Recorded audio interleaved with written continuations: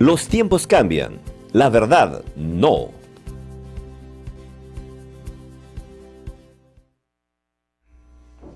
¿Qué tal? ¿Cómo están? Bienvenidos a la nueva emisión de la sección Cultura del diario La Noticia. Está con nosotros el periodista y escritor Percy Aquino Rodríguez para hablarnos justamente de su nuevo libro que pues trata sobre la ciudad que queremos, ¿no? Sobre eh, los distritos de Lima Norte, ¿correcto? Bueno, de Lima Norte y el contexto de Lima Metropolitana, que se plantean aspectos de desarrollo urbano, social y humano también, ¿no? Así, efectivamente. Bueno, el libro lo hemos estado presentando, la última vez que lo hemos presentado hace este fin de semana ahí en la Feria del Libro del Amazonas, y básicamente plantea que eh, es oportuno preguntarnos, pues, eh, ahora que ha habido las elecciones municipales y que se han propuesto cosas para la ciudad, políticas para la ciudad, ¿qué tipo de ciudad queremos? ¿no? ¿Cómo logramos una ciudad segura, que sin delincuencia o con menos delincuencia? ¿Cómo logramos una ciudad, sostenible? ¿Cómo logramos una ciudad eh, limpia ante tanta basura que hay? ¿Cómo logramos que una ciudad a través del municipio pueda también enfocar políticas de educación, de cultura, de salud, etcétera. Alrededor de eso juega el libro, ¿no? En ese sentido. Exacto. Ahora, ¿cuáles han sido los diagnósticos para el estudio? Bueno, en realidad e, el libro parte de la situación de los distritos de Lima Norte, que tienen similares problemáticas y por tanto también este, similares propuestas de solución. Lo que ahí hablamos, por ejemplo, que en Lima Norte eh, hay un gran problema en cuanto a la limpieza pública. ¿Y qué se plantea? O sea, dejar el sistema tradicional de limpieza pública para que los municipios, porque un solo municipio no lo puede hacer, en una mancomunidad de Limón Norte que ya existe pero que no funciona, puedan, por ejemplo, en el caso de limpieza pública, construir una gran planta de tratamiento de residuos sólidos para hacer el reciclaje de manera industrial de la basura, para hacer también el compostaje de la basura y que también lo, que puede servir para, los abonos y que también la Mancomunidad de Lima Norte pueda eh, adquirir y manejar una, una gran planta de relleno sanitario para llevar ahí la basura que no es utilizable, que no es reciclable y que ahí incluso en esa planta hasta se podría hacer energía con la basura, porque en otros países la basura, el manejo sostenible y ambiental de basura se convierte en un negocio, una actividad rentable. En cambio acá lo desperdiciamos, pero en realidad podríamos darle la vuelta a esto y hacer un manejo integral de los residuos solos en el caso pues, de la limpieza pública. ¿no? Es muy importante los, los puntos de vista que se generan a través de este libro, incluso podría servir a las autoridades, ¿no es cierto?, que acaban de ser elegidas. Bueno, hablamos también justamente de un problema principal que todos los candidatos se enfocan, pero que a veces no se logra solución, porque es bien complejo en realidad, es el tema de la inseguridad ciudadana. ¿No? Ahora, el tema de la seguridad ciudadana, obviamente muchos eh, alcaldes y, candidatos proponen más cámaras de seguridad ciudadana, que no está mal. Proponen más policías, más serenos, que no está mal, porque evidentemente hay un déficit de sereno, hay un déficit de policías, pero también lo que proponemos ahí es dar énfasis a las medidas de prevención es decir, de qué manera el municipio, en coordinación con, varias entidades y de los vecinos sobre todo, puedan este, fomentar a la Junta Vecinal de Seguridad para prevenir mejor el delito, de esta manera pues bajar la incidencia y poco a poco pues lograr una ciudad segura. Pero prevenir el delito no solamente significa identificar los focos de, la delincuencia, significa también al mismo tiempo políticas multisectoriales, por ejemplo, promover más recreación, más deporte para que la juventud tenga facilidades para ir a ese, sector, porque ¿quiénes son los delincuentes? Los pandilleros juveniles, después se convierten en delincuentes. Y entonces, ¿esos pandilleros dónde salen? De hogares disfuncionales, donde no hay, hay, violencia familiar. Entonces también el municipio y la sociedad y el colegio deberían proveer una cultura de paz, ¿no es cierto? Es, es toda una política multisectorial que va a incidir luego en una reducción de la violencia y por supuesto en una seguridad ciudadana, porque cuando hay seguridad ciudadana no solamente la, gente puede caminar segura en, la calle, en los parques, sino también los negocios pueden desarrollarse en una mayor amplitud. Entonces es un problema complejo que evidentemente no solamente eh, implica, como digo, represión, control, sino gran medida de prevención y de intervención en varios sectores, ¿no? Así es. Y ha hecho pues un diagnóstico real, claro, con índices para poder plasmar todo lo que, como claramente lo, indica el, la carátula, ¿no? La ciudad que queremos. Así es. ¿Qué es lo que quieren los ciudadanos de Lima Norte? Bueno, los ciudadanos de Lima Norte quieren una ciudad segura, evidentemente, quieren una ciudad limpia, pero también quieren una ciudad descentralizada. ¿Y a qué me refiero? Por ejemplo, en el libro proponemos, hablamos también de la descentralización económica y administrativa que necesita Lima Metropolitana. Lima Metropolitana tiene eh, más de 10 millones de habitantes que han ido la mayoría, casi 9 millones ahorita, a las elecciones a elegir nuevas autoridades.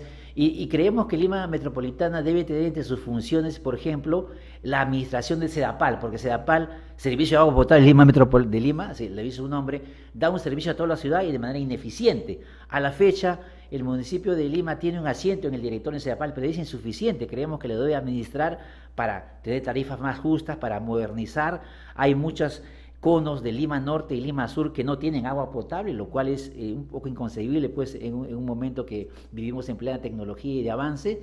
También Lima Metropolitana creemos, para combatir la inseguridad ciudadana, debía tener eh, de alguna manera mayor injerencia en la policía metropolitana. Grandes ciudades que han combatido la delincuencia como Nueva York, eh, el municipio metropolitano de Nueva York tiene una administración este, coordinada con la policía metropolitana, para que pueda haber, por ejemplo, un mayor patrullaje de, tanto de efectivos policiales con patrullaje integrado con los serenos, para que, por ejemplo, y, se propuso incluso en parte en campaña para que el municipio metropolitano que tiene dinero pueda comprar los días de franco de los policías y no estén pues cuidando de repente o descansando, cuidando eh, eh, sitios privados, sino que estén cuidando las calles de seguridad ciudadana, ¿no es cierto? Y también creemos que Lima Metropolitana en la, en la forma de centralización debería coordinar mejor proyectos interdistritales con, los, con el cono norte, el cono sur, el cono este, de tal manera que grandes proyectos como la limpieza pública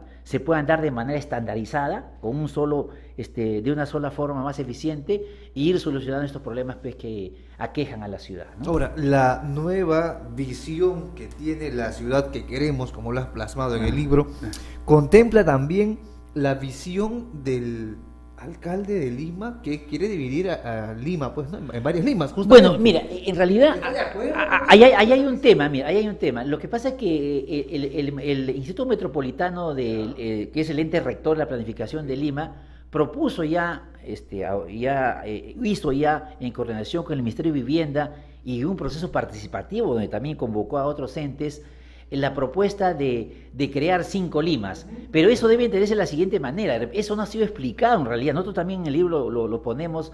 ¿Qué plantea el Instituto Metropolitano y qué plantea el municipio de Lima? Porque ya por ordenanza la aprobó. Lo que pasa es que eso no ha sido difundido ni explicado. Es necesario que se explique. Lo que se propone no es crear provincias, porque sería más burocracia cinco limas con provincia más burocracia y si no hay presupuesto vas a tener más alcaldes, más regidores, lo cual es inviable. Lo que se propone en este caso de las cinco limas es que Lima Norte, Lima Sur, Lima Centro, Lima Balnearios, Lima Oeste puedan este, eh, crear unas circunscripciones territoriales. Por ejemplo, Lima Norte, eh, todos los municipios de Lima Norte estarían, tendrían un ente coordinador como un intendente. Este intendente este, coordinaría proyectos de naturaleza interdistrital. Por ejemplo, el tema de la limpieza pública, que es importante. Por ejemplo, el tema de la seguridad ciudadana, que es importante.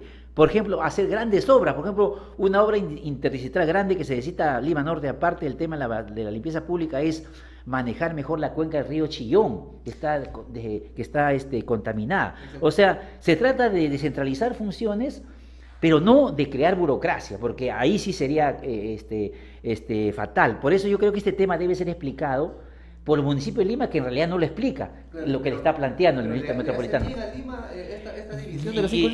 Es, que, es, que, es que no sería una división, o sea, no sería una división que, que acá hay este, un, este, Lima Norte es, es una provincia, no, porque, repito, no se trata de crear provincias, se trata de crear coordinaciones eh, eh, de intendentes que puedan coordinar mejor los grandes servicios que, con el presupuesto de Lima se podrían hacer. Por ejemplo, Lima Metropolitana está ejecutando en Lima Norte una obra grande que no la puede hacer ningún municipio. El Pasamaito que une este, San Juan de Urigancho con Comas y que va a unir al Callao, lo está haciendo Lima Metropolitana. Hacer más obras viales que no puedan, de carácter interdistrital, que descongestione Lima, no lo puede hacer un municipio solo, lo va a hacer Lima Metropolitana en coordinación con, con el gobierno central que tiene presupuesto. O sea, grandes obras interdistritales se podrían hacer ¿no? en este enfoque de las cinco limas, pero repito, no se trata de dividir, ni de crear distritos, ni de crear más burocracia. ¿no? Digamos, Eh, y tiene esta visión en el libro también. Sí, eh, mira, el libro fue, eh, fue publicado ya hace cerca de un año, porque lo hemos presentado varias veces, y ahí justamente se enfoca el tema de lo que propone el municipio, el Instituto Metropolitano y lo que finalmente ya en el transcurso de este año aprobó por ordenanza el municipio de Lima. Pero repite, es un tema que debe ser explicado y que incluso deberían hacerse foros para que los ciudadanos puedan incluso proponer más cosas, porque toda norma es, es corregible, ¿no? Es perfectible pero creo que la, en, el, en, el, en, el ánimo de, de, Lima que ha crecido tanto hay un ánimo de centralización y yo creo que por, el, por ese lado va ese enfoque. Descentralizar. De, de descentralizar. Descentralizar este, servicios que puede hacer y centralizar obras y proyectos que se puedan hacer a favor de Cuno Norte, Cuno Sur, Cuno Esto. ¿no? Así, es. Ahora, digamos, está relanzando el libro, ¿qué novedades nos puede contar acerca de y qué proyectos también? Bueno, eh, eh, estamos, lo hemos vuelto a presentar este, este fin de semana en, la Feria de Amazonas, lo hemos presentado en varios sitios, está en todas las librerías, uno lo puede pedir, ¿no? La ciudad que queremos. ¿no? Este, y también lo que planteamos que con todas estas cosas la ciudad pueda ser sostenible, es decir, resiliente ante el cambio climático, por ejemplo. Si los municipios tienen una visión mejor de cómo contaminar menos, de cómo limpiar antes que ensuciar, estaremos y que tienen una visión también de cómo manejar el problema de, de, lo, de los asentamientos humanos, donde siguen poblándose, pero que en realidad ahí hay un alto riesgo en realidad estaremos avanzando hacia un mejor desarrollo urbano, ¿no? ¿Su libro ha llegado a las manos de alguna autoridad electa?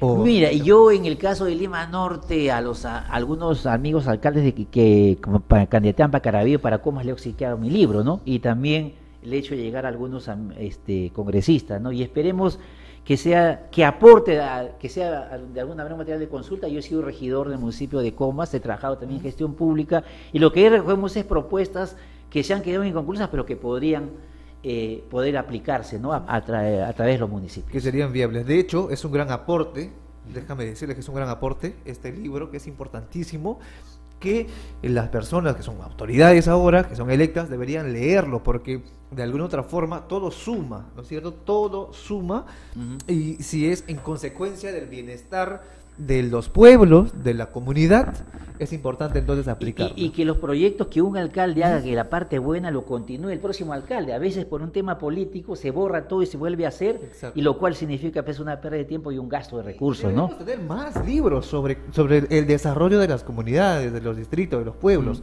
Deberíamos tenerlo y debería también ser difundido.